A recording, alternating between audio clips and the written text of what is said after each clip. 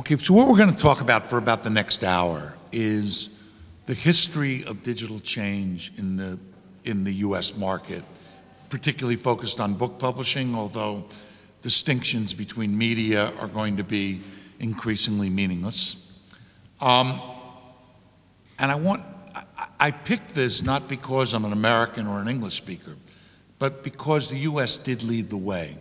And it didn't lead the way because there's anything particularly special about the United States, except that we have 300 million people with one government, one commercial system, one currency, and pretty much one language. So that cre we created a, a, a pool of, uh, of people to work with and institutions to work with that were also benefited by the fact that we have a fairly laissez faire attitude in the United States toward business, and particularly in, the internet benefited from that. And, and there was a, an ethic that we should let the internet develop without government interference. So there was a, a, uh, a great test tube with an attitude that, an, a, that permitted experimentation. But there is a bit of prehistory If digital change really, as we understand it, starts in the 1990s.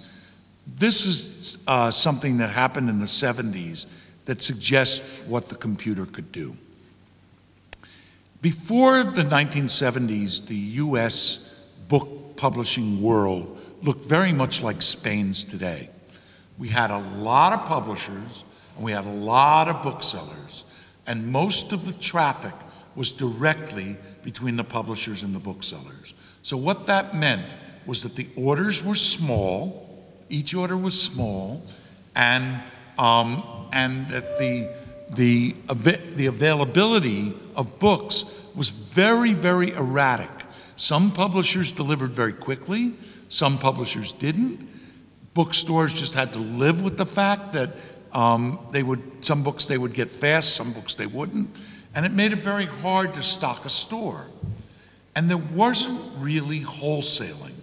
And by wholesaling, I mean a business that buys the books from the publishers, puts them in a warehouse, and makes them available for stores to order. And the advantage to a store of a wholesaler is that they can buy books of many publishers in one place. So at the end of a day, when a, whole, when a bookseller had sold 200 books, in a problem that came from 34 different publishers. He didn't have to write 34 orders to replace those books. He could write one order to a wholesaler. But the problem was it was a terrible business because there were hundreds of thousands, a couple hundred thousand titles that were possible. Nobody could stock them all. Stores would run out of different ones all the time. Um, and so what happened, well, there, were, there were two kinds of wholesalers then. There were library wholesalers, and they operated because the libraries didn't care how long it took to get the book. So the libraries would order from the wholesaler, the wholesaler would order from the publisher, and whenever the book came in, the library would accept it. And the other kind of wholesalers were what we called mass market independent distributors. They didn't have any stock either because they bought magazines and mass market books and they just put them out into racks in department stores, in drug stores, in places that did not want to, like a bookstore, order everything themselves. So what would happen is that a publisher would put out a book in a first printing and it would take off. And suddenly lots of stores needed that book. So the local library wholesaler or mass market ID would bring in a, a pallet, a, a, a truckload of those books and get them to the stores. But this was very few of the titles that were in, generally available. So what that meant was that stores that tried to use wholesalers found that most of the time the order couldn't be filled. And most of the orders that the wholesaler got were, were not commercially useful to them. So they would get an order for 100 books, they had 10, they had to reject the order for 90, and it was just wasted time and effort for everybody. Ingram in the early 1970s was a small local wholesaler in Tennessee that had come out of the Tennessee School Book Depository. And the school book depositories were created because the textbook publishers didn't want to bother with small schools. So they would sell the books to all the big school districts, but the small schools had a hard time getting the books. So, the, so various states said, if we're going to approve this textbook for use in our schools, you have to put copies in our depository so that any school in the state can get them. So the Ingram family bought the Tennessee Book Company, which was the Tennessee School Book Depository, and in the early 70s was trying to turn it into a wholesaler for bookstores. But they had the same problem that everybody else did, which was that most of the orders they got they couldn't fill. One day, the guy who was running Ingram, a man named Harry Hoffman, had come from Bell and Howell. And Bell and Howell was a hardware company, and they had developed a microfiche reader. And the beauty of the microfiche was that on a piece of film about this size, you could get an enormous amount of information, which you put on the microfiche reader, and it, it projected it, it made it large enough to read. And they figured out that they could put their whole inventory on a microfiche and distribute it once a week, and the stores would know which books they had. And they would order the books they had and wouldn't place orders to Ingram for the books they didn't have. So this could be a huge commercial advantage. And, but the problem was the readers themselves were expensive. And Ingram couldn't afford to just put readers into thousands of stores. So you had to persuade the stores to rent the reader so that they could then get the microfiche. And the readers cost $10 a month. So the big question was could Ingram persuade enough stores to spend $10 a month on this new piece of hardware so that they could mail them a microfiche? That's something that US Mail a microfiche once a week, mail it out on Saturday, would arrive at the store on Monday, and the store would know what Ingram's inventory was at that moment. Well, the stores loved the idea. And so very quickly, Ingram went from a 10% or 15% fill rate to a 90% fill rate. And you don't have to be an economics major or have an MBA to understand that that is going to be extremely powerful in the economics. And it was.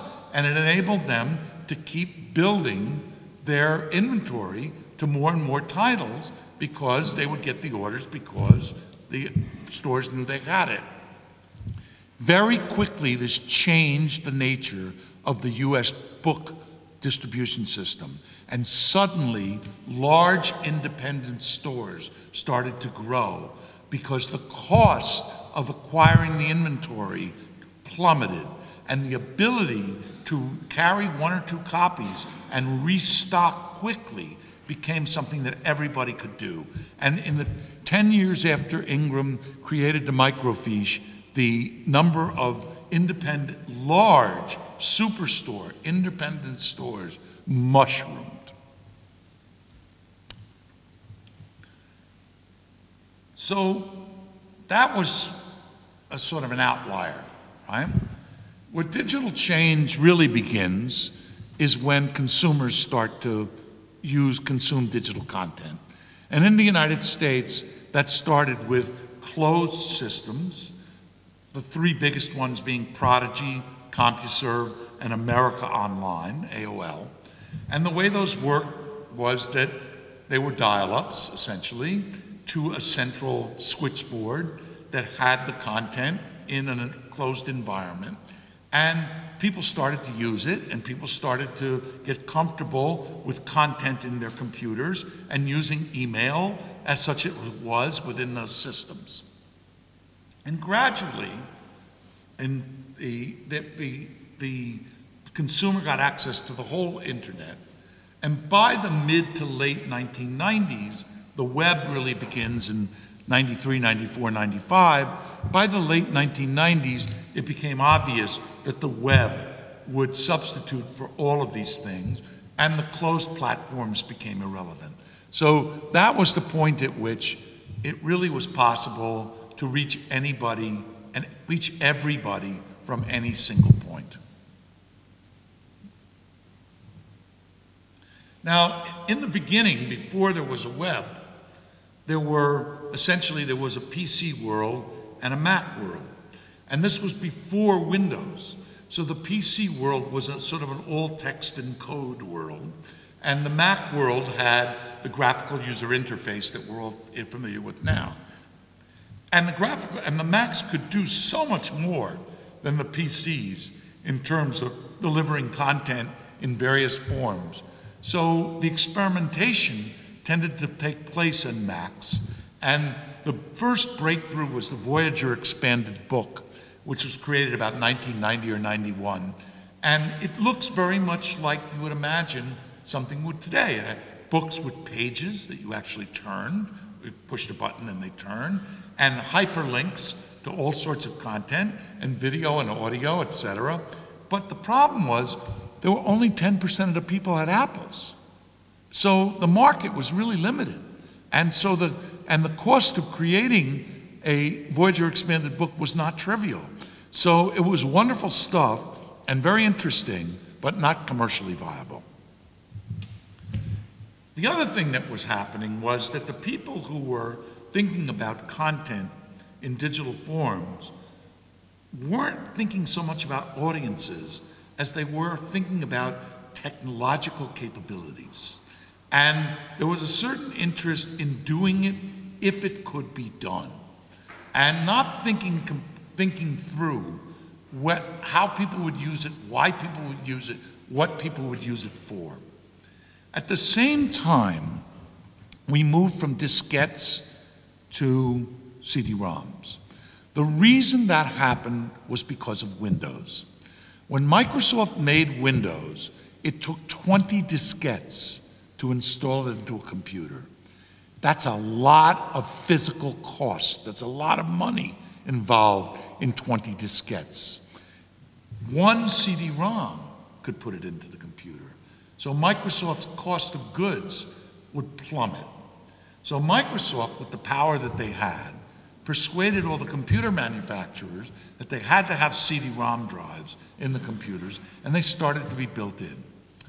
So a whole industry grew up of people who wanted to make content for CD-ROMs. But you cannot fill CD-ROMs with words. You have to fill CD-ROMs with images, video, audio, because it has so much capacity for, for bits that words just don't fill it. So that meant that the new content developers wanted to make multimedia CD-ROMs, whether there was an audience for them or not, because people were going to have computers and they were really, really neat things to do. And so that's what they did. And they persuaded a lot of publishers that this would be a good idea, and it was a, it was a terrible, terrible money sink. And all it did was take a lot of experimental money and burn it. But then Amazon happened, and they started in 1995.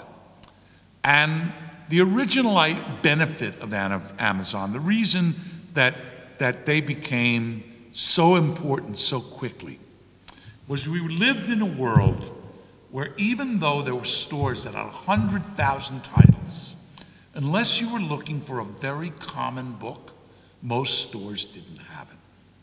So you would go to the store that had the biggest selection, but the particular book you wanted often was not there. Amazon showed you every book, and they invented a concept called the promise date, which is this book I can get you in four days. This book I can get you in four weeks. And you make the decision about whether or not you want to order the book. But the promise date was critical because, first of all, it made you confident that. It's okay? It, it made, it, the, pro, the promise date made you confident when you placed the order that you would get something that made sense to you, but it also relieved Ingram, I'm sorry, Amazon, of what would have been many, many customer service calls with people saying, Where is my book? Except that they knew when to expect it. And they set the promise date so that they never exceeded it. Now, the miracle of, of Amazon was that he could start this business with no books because Ingram had a lot of books. And Ingram had a warehouse in Roseburg, Oregon, and Jeff Bezos moved to Seattle, Washington from New York. And he set Amazon up in his garage. And so you would go on Amazon, you would order a book, Jeff Bezos would take your money, he would call Ingram, Ingram would get him the book the next day or the day after. He would then ship the book to you. Six weeks later, he had to pay Ingram. So it was cash flow positive on everything that he did, and it was a fantastic business. Right? And that's how he started, and gradually more and more people got, you didn't need any, a CD-ROM drive in your computer. All you needed was to be connected to the internet. More and more people were. More and more people found that this was a, a good way to do business. And he was very tiny, but he was growing very fast, and it was a, a sensible idea. But nobody really knew that except Ingram, because there weren't that many people buying books that way, and it wasn't the biggest uh, and the and the publishers didn't really know either because their Ingram business, they shipped the books to Ingram. They didn't know exactly how many books were going to Amazon, but Ingram knew. And Ingram saw that this could be an enormous business and that they were facilitating it. So they thought, our customers are bookstores. We want to help bookstores. So they went to the bookstores and they said, you don't have to give this business away to Amazon. We'll set you up give you a web page. We'll give you the, uh, the, the database. We'll ship the book for you with your name on the envelope. We'll set that up for you. And all you have to do is tell your customers if you want a book, come order it from me online, and you can. And they called that business Ingram Internet Support Services, or I squared S squared. And they started to announce it with great fanfare and they put booksellers together to do it. And at that moment, Amazon started to discount the books very, very heavily. And the booksellers looked at this and said, This is crazy. I can't compete with these prices, and there'd be no money in it. And I got a business to run that is a successful business, and who knows about this internet stuff? And I squared S squared became uh, a footnote in 15 minutes. One of the things that's interesting, though, is that I, am working now with Ingram on a 50 year history of Ingram and talking to John Ingram, who's the owner of the company, and who started Lightning, and who started I squared S squared, and who started uh, what they call third party fulfillment which is their ability to ship a book with anybody's name on the package. And I said, John, that, that must have been a terrible blow when you got this all organized and then Amazon cut their prices. He said, You know, Mike, I'd even forgotten about that. It was a big victory. I said, Why?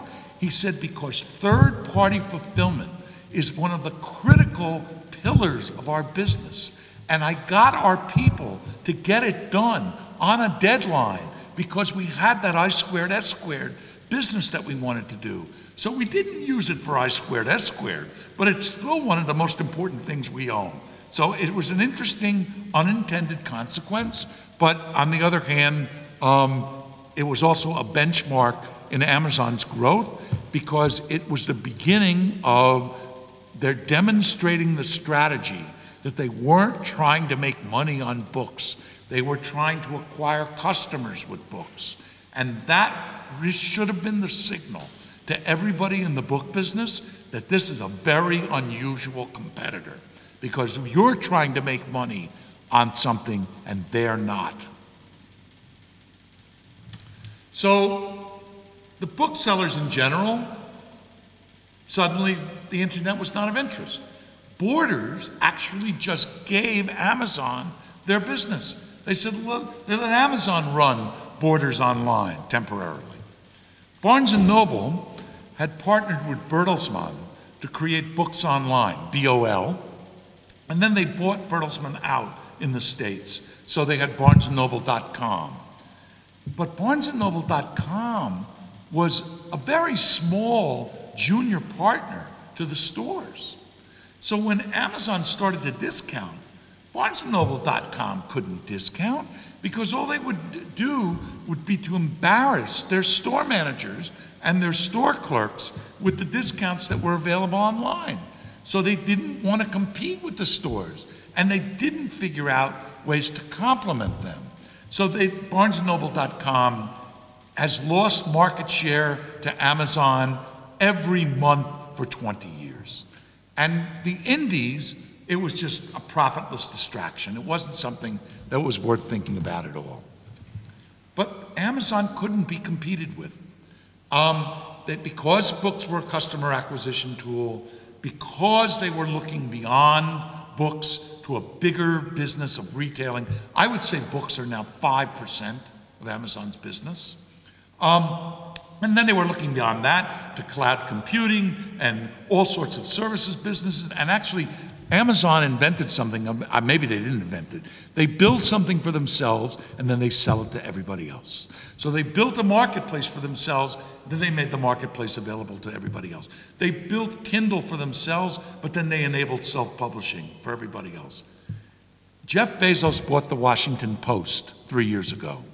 The first thing he did was to create a new content management system for the Washington Post because he walked in and said, This place is not computer literate. This is crazy. We have to have our people working more effectively. There are now 10 newspapers in the United States that have licensed the Washington Post content management system for their own use. It is the Amazon model all over again.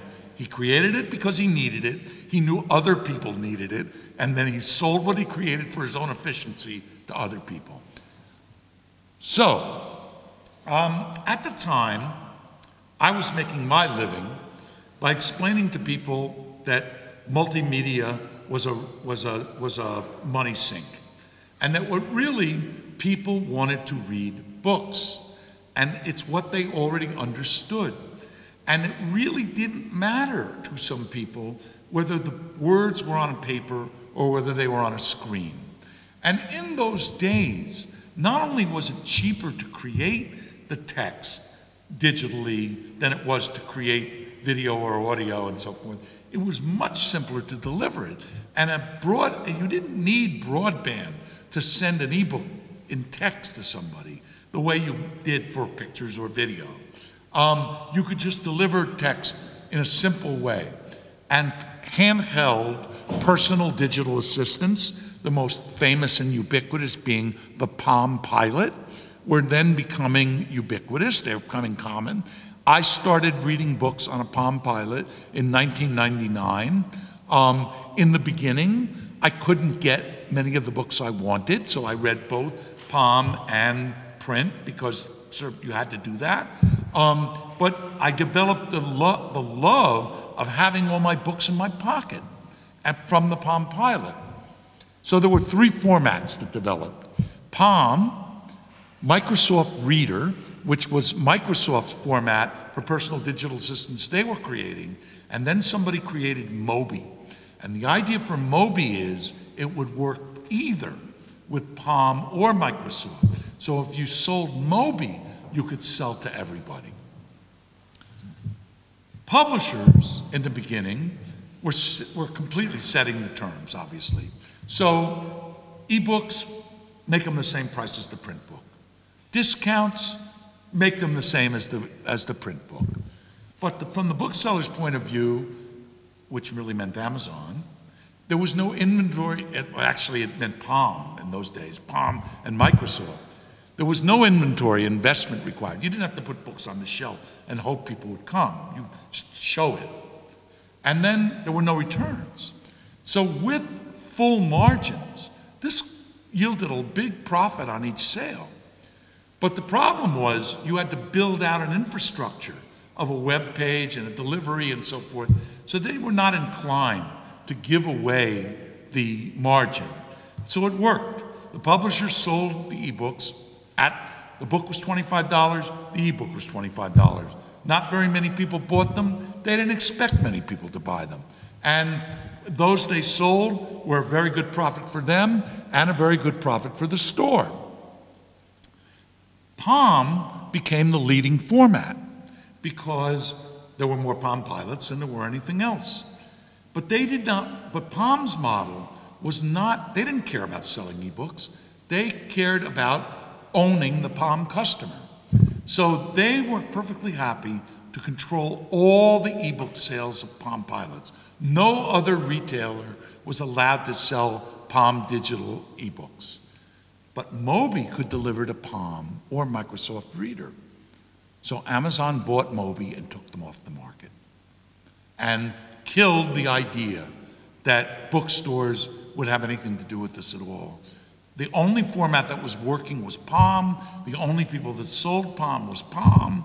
So the business was stuck in that place. Now, it was fine for me because I owned a Palm Pilot. It worked okay, but it was very limited. It was like it was like CD-ROMs. I'm sorry. It was like the uh, the the Voyager expanded book 10 years before. The number of people who could use it was very limited.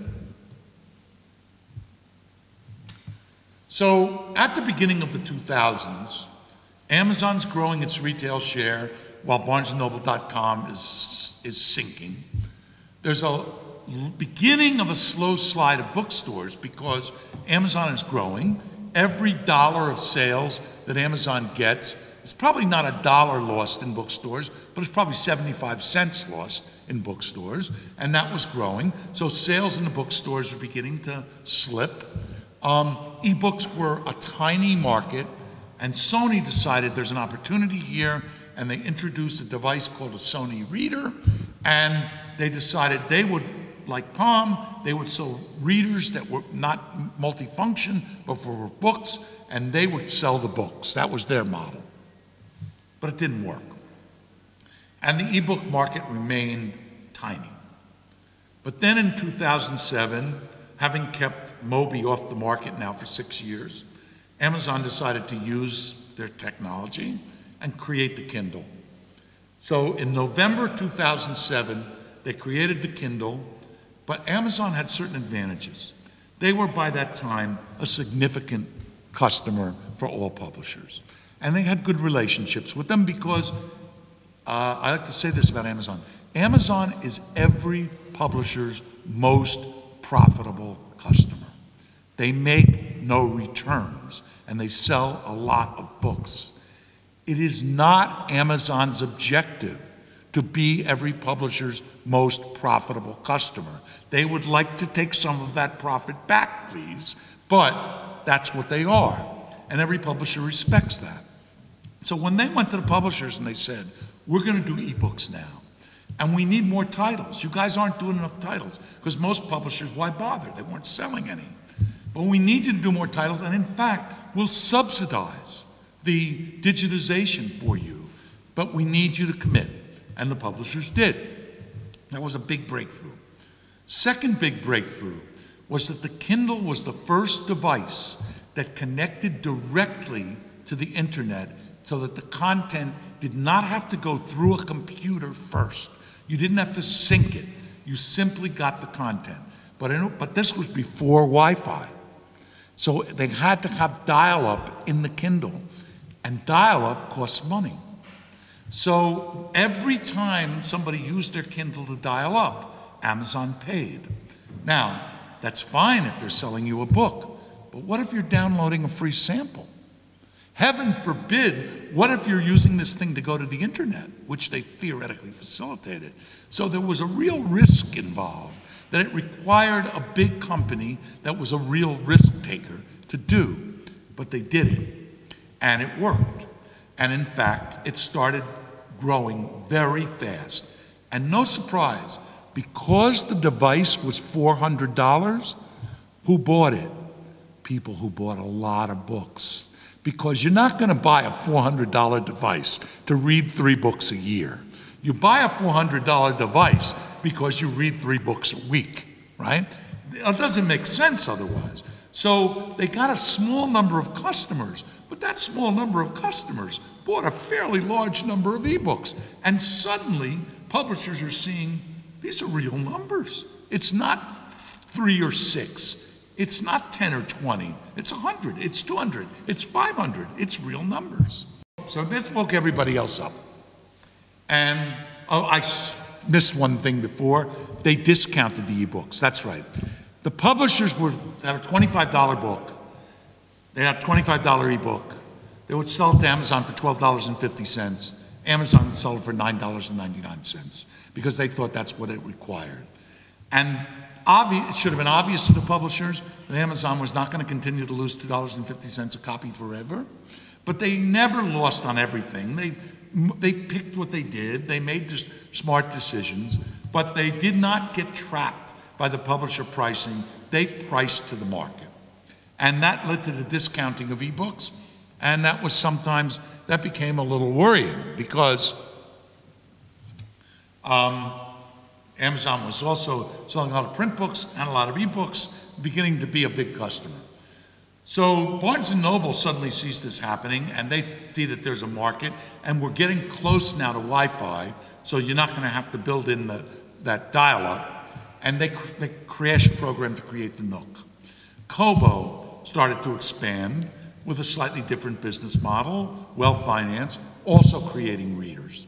Then Apple released the iPhone and I switched from reading on a Palm Pilot to reading on an iPhone um, in 2008 and they announced the iPad for 2010. So now there are suddenly, it is suddenly possible, even just through Amazon alone, to sell a substantial number of books without any investment in inventory and without any sales force. And this began the era of self-publishing. This is really concerning for publishers in every way because the aggressive ebook pricing is bound to cut into the appeal of the print books.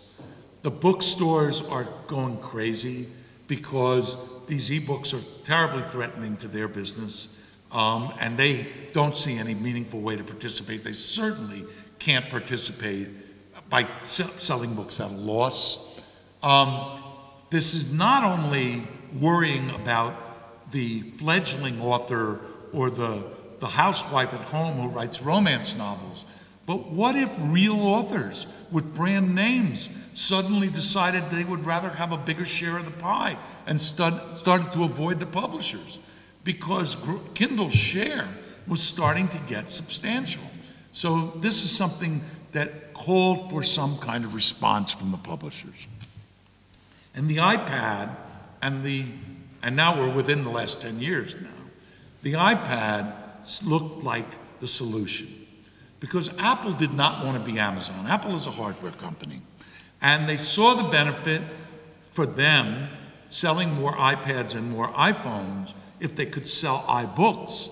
But they didn't want to get into figuring out that we're going to discount this one and we're not going to discount that one and how much margin should we make on this or that. They wanted a simple system.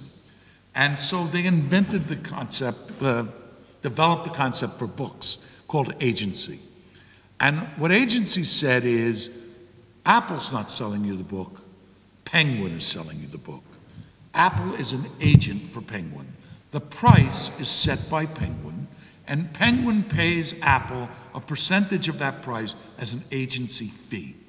And instead of 50%, which used to be the discount, the agency fee would be 30%.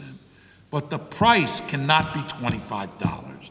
The price has to be some price lower than the print price. And Apple established bands. Books that cost this much would be $9.99. Books that cost this much would be $12.99. And it was a simple, straightforward formula. And they cooked this up talking to the publishers because they said from the beginning if we don't get four of the big six, we're not doing this. Because it doesn't make any sense to open a bookstore if we don't have real bestsellers. So the publishers start to think about when do they want to do this. And under all the pressure they were under, they thought this is great. Apple will be our savior. We'll switch from wholesale to agency. We'll stop all this discounting craziness, and um, we'll do. We'll just do this ourselves.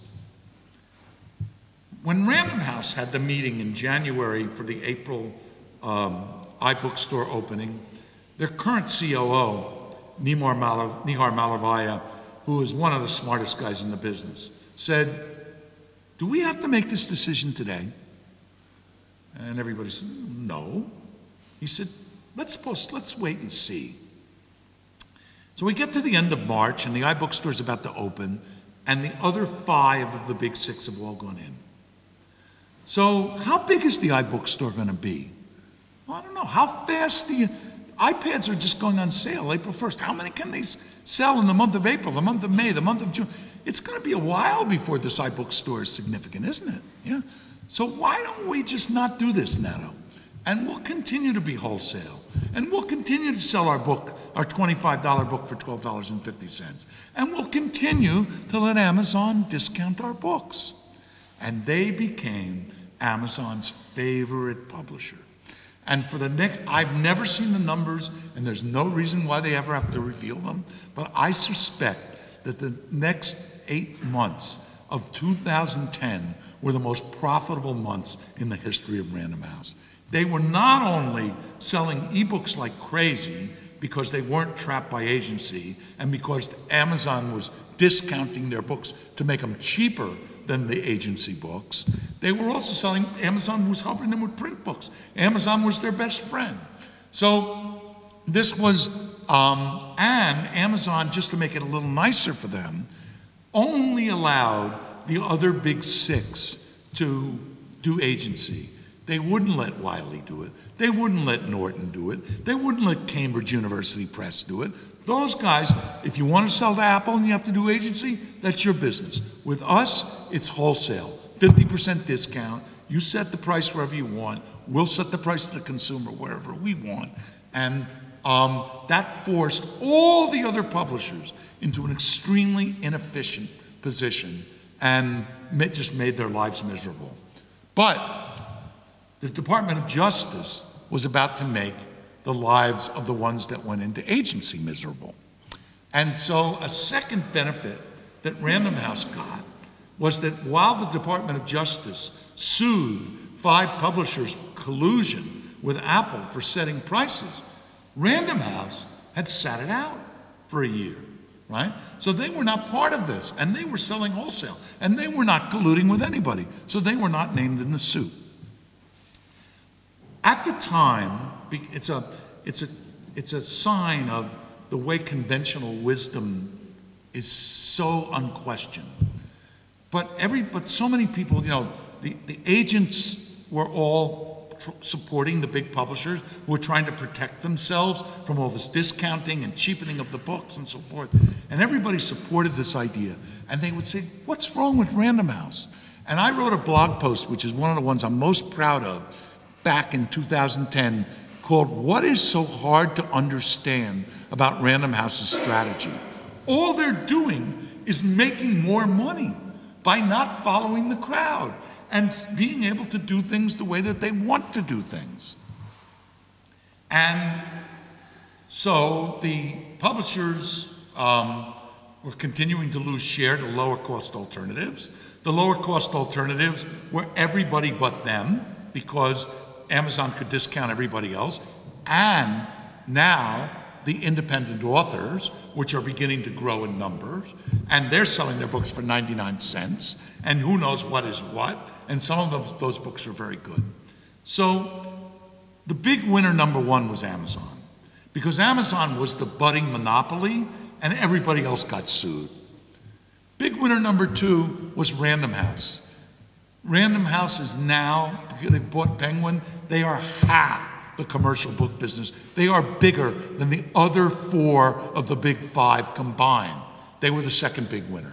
And the third big winner was Ingram, because Ingram was the way to get to everybody else. So all the independent authors and, and independent publishing that took place, Amazon took care of part of your business. You want the rest of the business? You go to Ingram totally independently of making this list, and I had forgotten about it, somebody asked me about the future of the book business. And I said, you know, there's only three companies that I would bet for sure will be here 10 years from now Amazon, Penguin Random House, and Ingram. HarperCollins, maybe.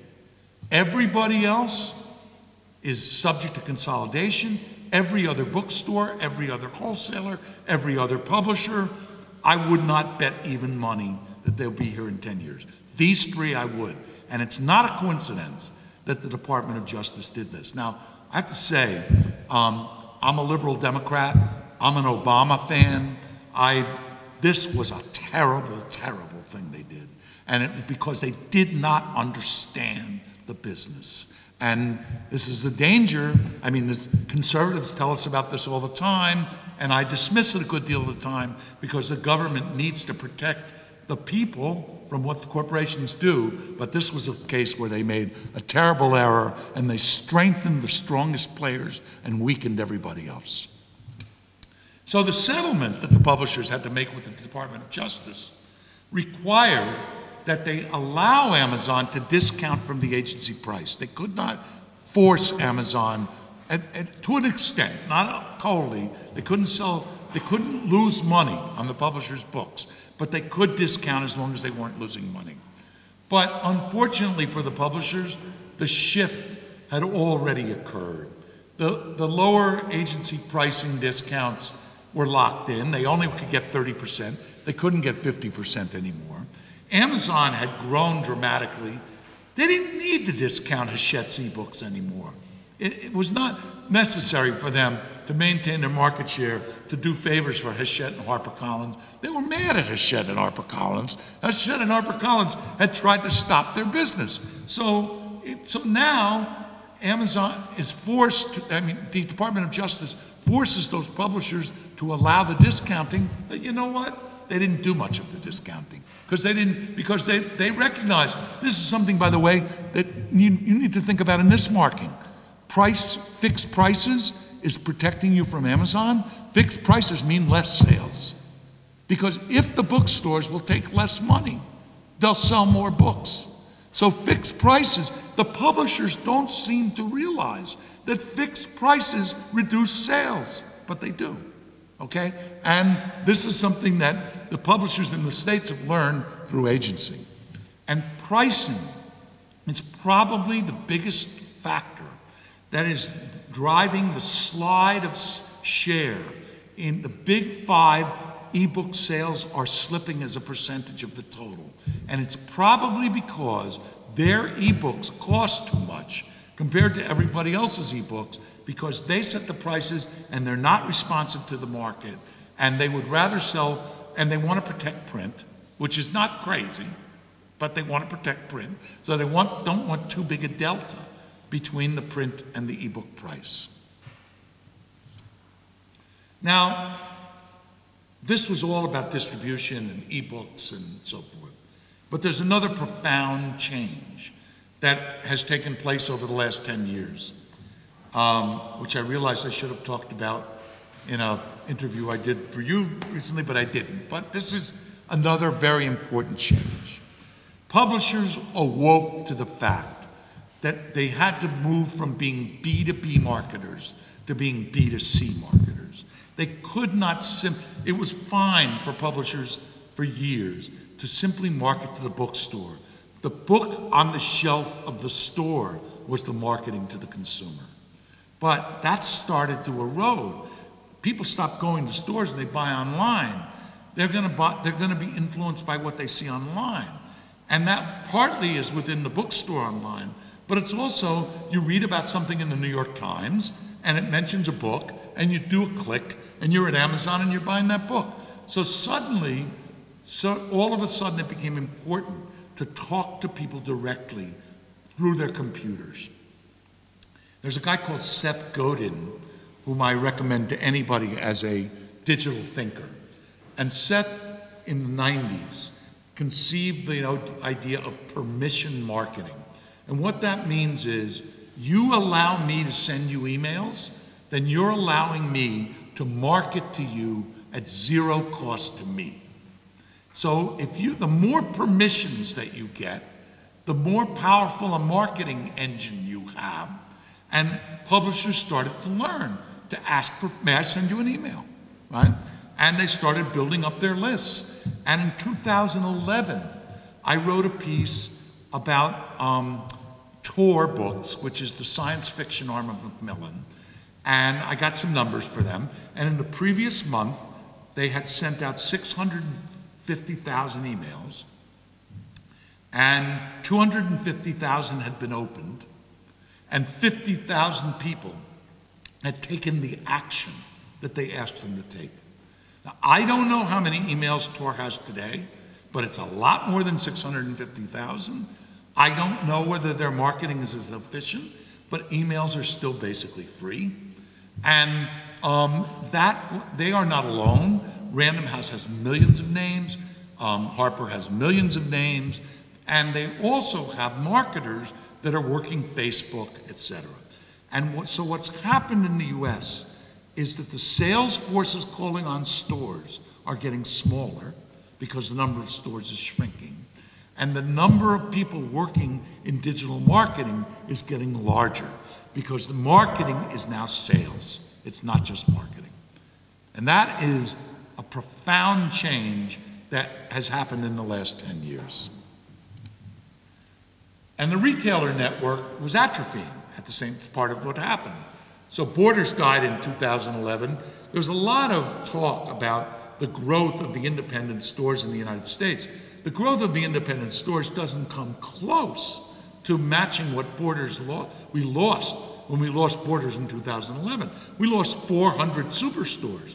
And we're getting the stores that are opening up, independent stores, are tiny little stores, not superstores. So we're opening some stores. They're not nearly as big, they're not nearly as powerful. So Borders left in 2011. Barnes & Noble has shrunk its number of stores, not that dramatically, but they've shrunk the amount of space for books in the stores dramatically because the 150,000 titles is no longer a magnet. It used to be because if you wanted an obscure book, you would go to a store with a big selection to look for it. If you want an obscure in a book now, you go online and order it and, and wait to get it. So the, so the books that were there to bring the people in stopped bringing the people in. And it wasn't a wise investment of space.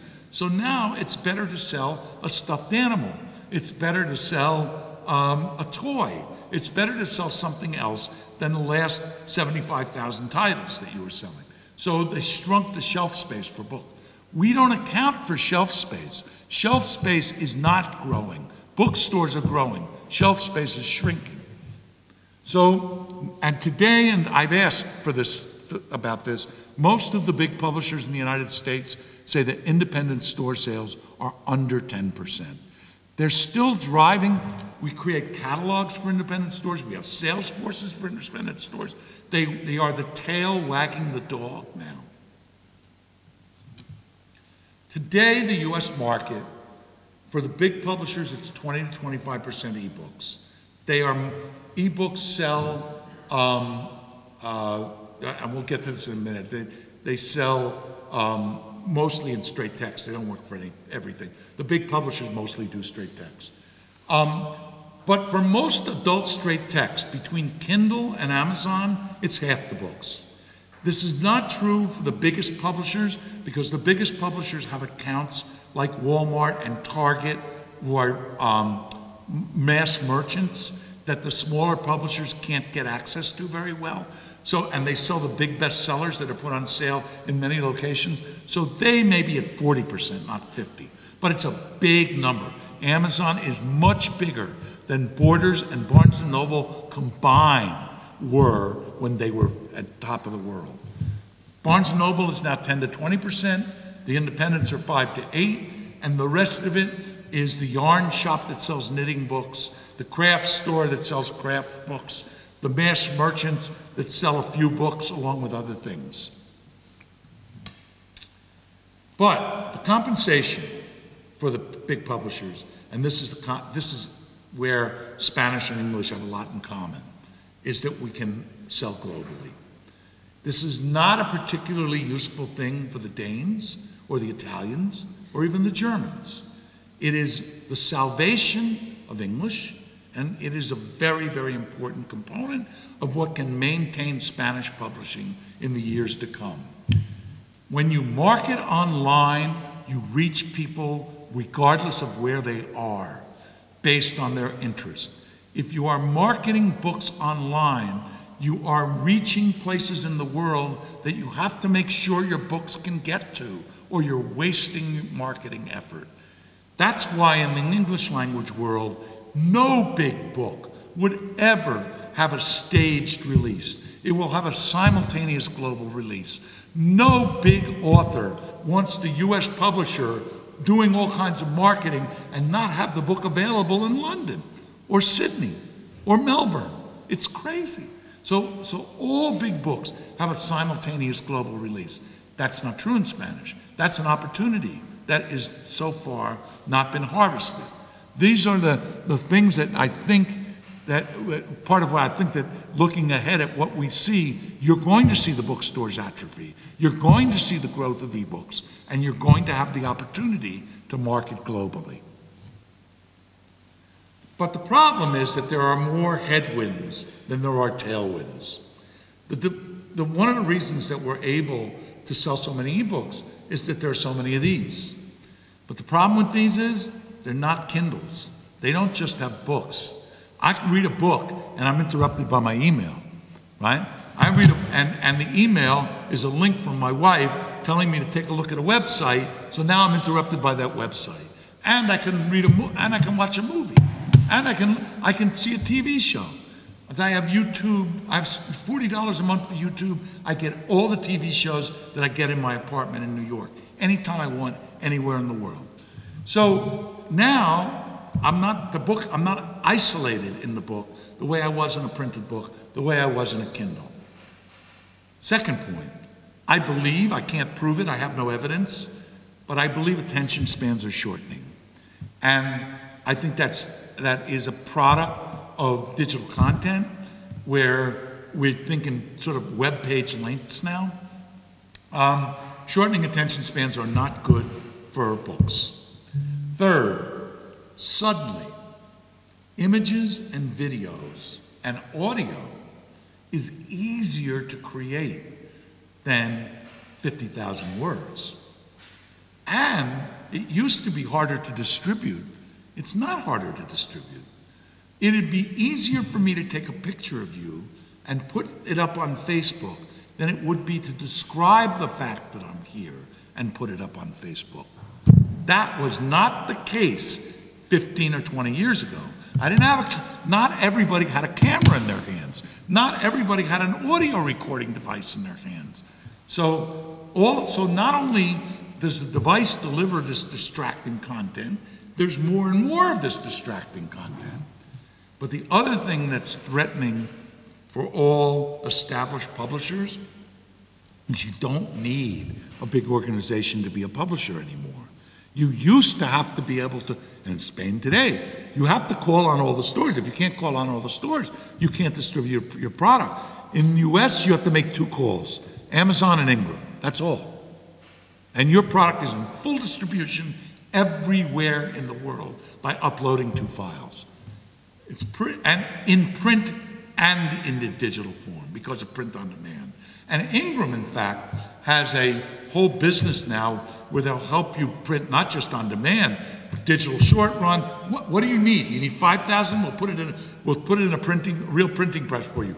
500? We'll put it in digital short run. One at a time. We can do that too. Um, so you don't have to invest in inventory. You don't have to have an organization. Publishers lived on the fact that they would invest in inventory, and they had an organization. The, the moat that protected publishers is gone. It, it may not be obvious, but it is gone. In 1993, you couldn't distribute a book without a significant capital investment in inventory you couldn't distribute a book without a sales organization, and you couldn't distribute a book without a warehousing infrastructure that could render invoices and collect the money. You had to do all those things, or you couldn't be in business. And today, Amazon, Amazon will get you so much of the business that there are lots of publishers and authors that just go to Amazon. They don't bother with the rest, even though they could get the rest by going just to Ingram. Ingram has to persuade people that it's worth making a second stop but most do. Gradually, they all will. But it, that's how powerful Amazon is. Fewer and fewer people even know what publisher a book is coming from or whether it's coming from a publisher at all. And professional intermediaries like the bookstores and the reviewers, where the publishers spend all this time and effort cultivating these relationships, have been replaced by Facebook and by emails from friends and by all sorts of, of, of media that we don't even think of as media. So the professional intermediaries have less power. Now, different books are affected different ways. The ones that have been changed the most are genre fiction romance, sci fi, mysteries, thrillers. The reason for that is that the people who read those books, many of them read numbers per month, not numbers per year or numbers per five years. So that means getting it a little cheaper matters, and it also means that the judgment about quality is not the way a publisher would make it. It's different. It's a very big audience, and people have their own ideas about what works for them. So, this has been the area where the ubiquity of self publishing has been so great that the established publishers are having a very hard time maintaining their business at prices that work for a commercial operation. Illustrated books, they don't work as ebooks, right? Because they, they, and and they, there aren't as many print outlets as there used to be. So the illustrated book publishers have a different set of problems. Discovery is online, so anything that is topical nonfiction, you have to market in a way so that you get to the online discovery. This is a concept that I call verticalization. It makes sense to stay in an area, whether the area is um, uh, politics or uh, politics and government, or whether it's medieval history, or whether it's um, uh, house housework, whatever it is, you want to know all the blogs, you want to know all the the influencers that, and you want to do the same kinds of books over and over again, so that you can use those relationships. How to has been devastated by YouTube right? So it used to be you'd show somebody how to do a knitting stitch, and you'd show them in eight pictures and captions under the picture, and it was expensive to do that, right? You have to, you have to do this, take a picture, do that, take a picture, arrange it. Oh, we need two more. Have to do it again. Video is easy. It's cheap. You can go to YouTube and you can find out how to get any knitting stitch done. There's a knitting stitch book is pointless now. And that's happened to lots of things in the how to area of any kind cooking, sewing, craft making, anything, Desi- designing. The other thing that's changed is that publishers used to be able to work exclusively with the books that, that were current. Now they have to think about everything they've ever done.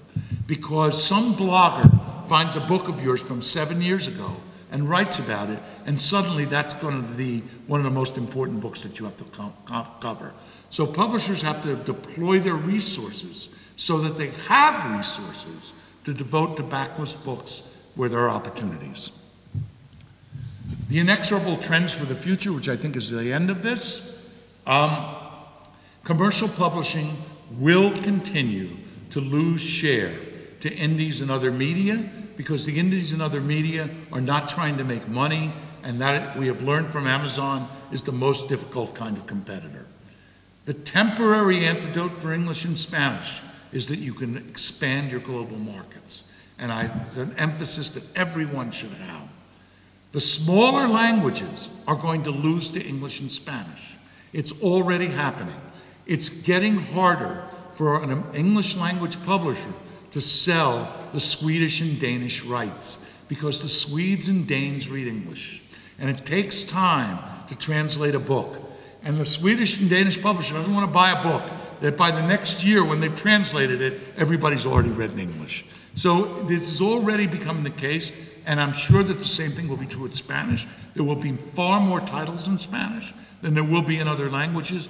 That is going to, and people will start to learn Spanish because it's one of the two global languages, and you're going to have a similar effect. So publishing in general will become either super global or hyper local. And that's sort of how. Thank you.